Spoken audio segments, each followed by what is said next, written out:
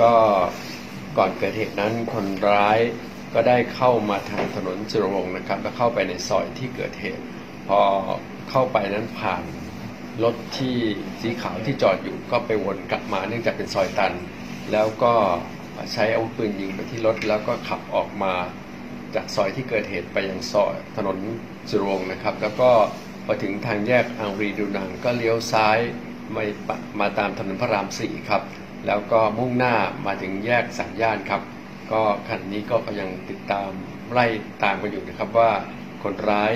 มุ่งหน้าไปทางไหน แล้วก็มาจากทิศทางทางไหนนะครับ ก็อยู่ระหว่างขยายผลซึ่งขณะนี้ท่านผู้กำกับตำรวจ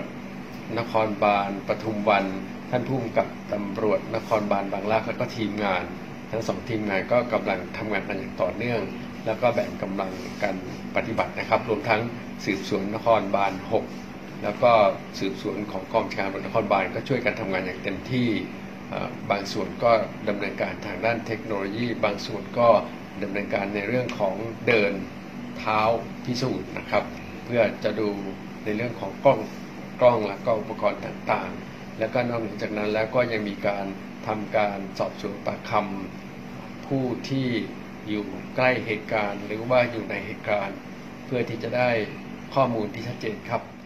เบื้องต้นเนี่ยคนร้ายเดินทางมาก่อเหตุจากไหนแล้วหลบหนีไปทางเส้นไหน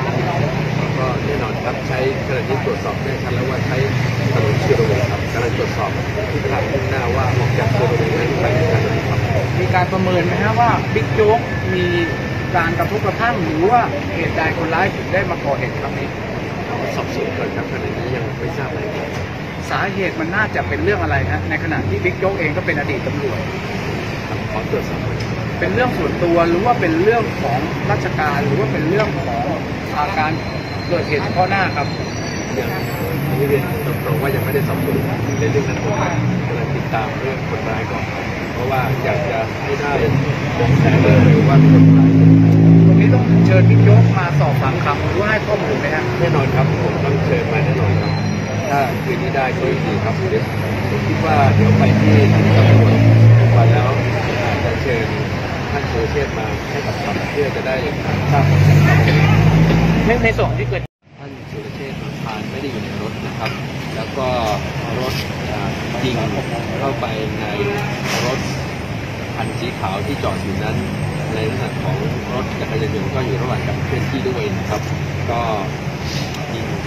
ไปหลายนัดนะครับขณะนี้อยู่ระหว่างการตรวจสอบ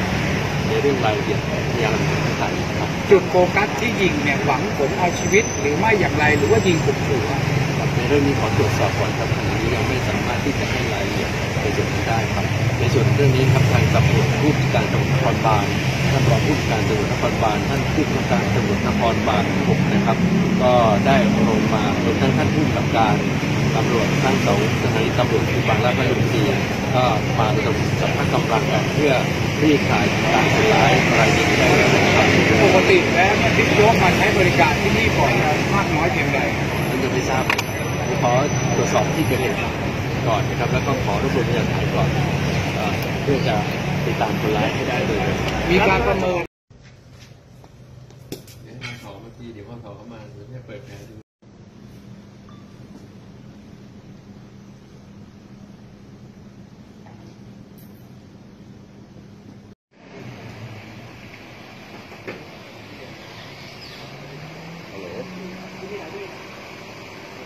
อยู่又又又到อ的了